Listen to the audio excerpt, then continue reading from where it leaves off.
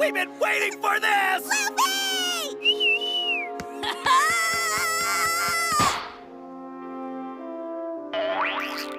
this is me frozen. Uh,